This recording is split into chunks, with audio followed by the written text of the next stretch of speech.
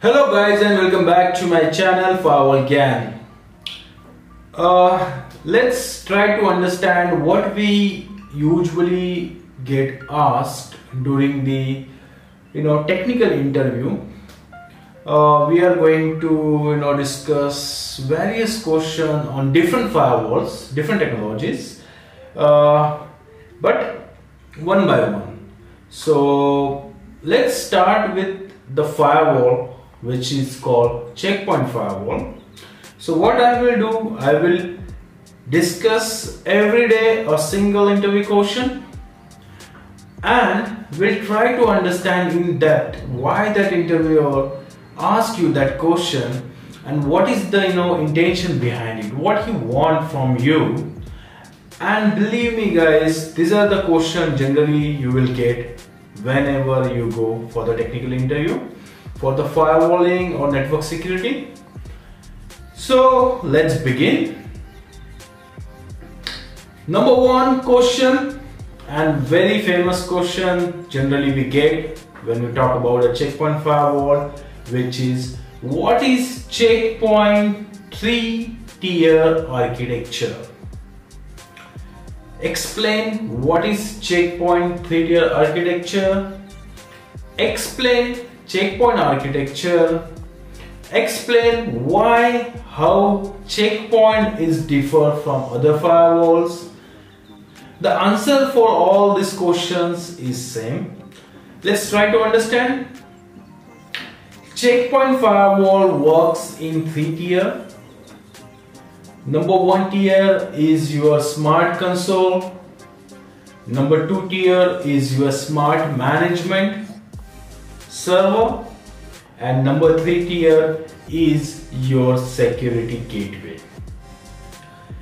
Smart console, security management server and security gateway all three are interlinked, interconnected. They are interconnected in a such way that without this arrangement the work on the firewall, the load, the traffic and everything without this arrangement will not work. Let's understand how.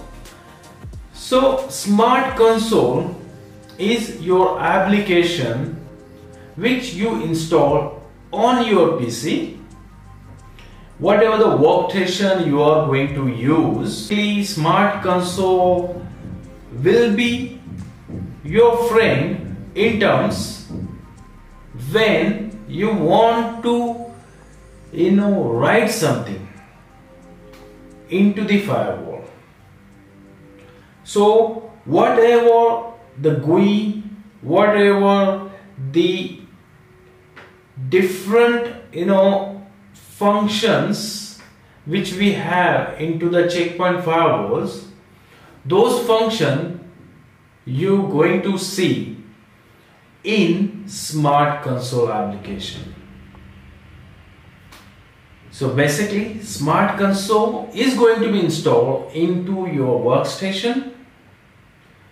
Now that smart console application need to connect to your security management server which having the functionality whatever you are going to put from the smart console say for example you are going to create an object you are going to create say uh, different subnets you are going to create a different policies all will be going to be create using smart management server. Basically smart console give you the overall picture but you want to implement something you have to use smart management server. So smart console going to connect to your smart management server and whatever different things you going to write you will be going to write onto the smart management server. Then the third tier comes which is security gateway. In security gateway, whatever policies, objects, different things you write onto the management server, you will be pushing to the security gateway. So basically whatever the traffic load going to filter pass is not from the smart console or smart view management, not from the smart console or security management server, the traffic going to be passed from the security gateway. So using smart console application and security management server, you are creating a frame, but that frame need to be get pushed into the gateway so that whatever the different things you have defined into the security gateway going to come into the picture. So whatever the different things you have defined into the security management server using the smart console application will come into effect when that thing push to the security gateway. So all this thing, all these three things Smart console, security management server and smart and security gateway need to be interconnected so that your firewalling entire architecture completes. So using smart console you are going to write the application using smart management server you are going to have all this application to be get pushed to the security gateway and from the security gateway those things come into the picture. This is what the three tier architecture of the checkpoint firewall and these three tiers get connected using the function or the feature called SIC called secure internal communication. Basically your management server and security gateway those get interconnected using one-time password which we call SIC.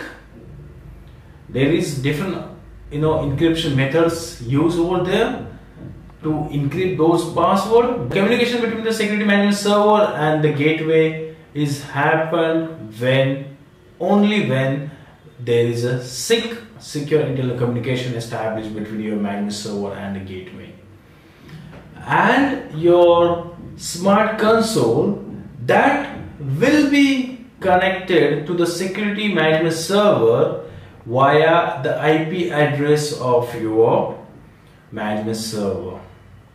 Provided whatever the route reaching to this management server is clear. Alright? I hope this point is clear to you and I hope whenever you get a question like explain the three-tier architecture of the checkpoint firewall you're going to be explaining all those things. So guys thanks for watching this video and have a wonderful day